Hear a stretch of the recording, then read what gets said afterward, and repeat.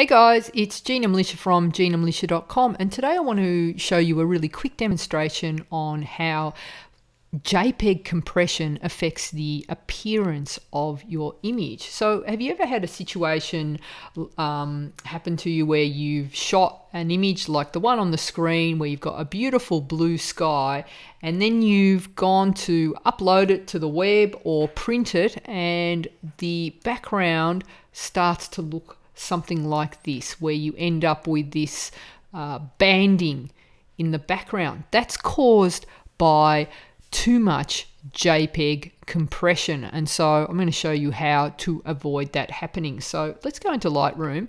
So here's my image here on the screen and I've worked on it. I'm happy with how it looks and now I want to export it. So I've got my uh, drop down menu that comes here and I've got all my options. I'm going to come down here to the file settings. So I've selected JPEG and then in the then the next option here I've got to choose from is quality. So I've got from 100 to 0.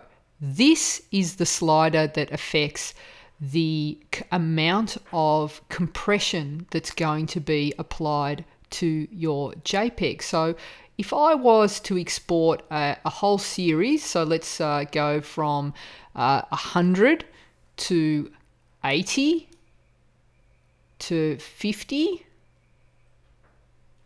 and one at zero, you'll see that there's a huge difference uh, between uh, the the amount of compression and how that final image will look. So I'll, let's jump over to Photoshop and I'll show you what I mean. So the JPEG exported with zero, so at the, the lowest quality setting, that's where you're going to get the banding. So basically, when it's uh, reducing the size of the file, it's throwing out information of you know bits of color, and so this is why you get the stepping because you don't have all the color information available. So it's going to give you the lowest quality and you're going to get this banding in the shot. At a size of 5, it's better, but you'll still notice that there is a, still a lot of banding and that's going to be particularly obvious if this was to go to print. So at 5, it's still not good enough. When we go up to 8, you notice that the sky is actually looking pretty good. So at around 8, you're kind of starting to get optimum quality. Um, so it, it's looking pretty good. And at full size, of course, uh, th that a lot of the, the banding has disappeared and that's looking pretty good.